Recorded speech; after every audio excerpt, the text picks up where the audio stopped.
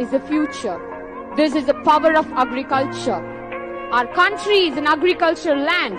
60% of people belong to agricultural background. Once in a lifetime, you need to meet a doctor, a lawyer, a teacher,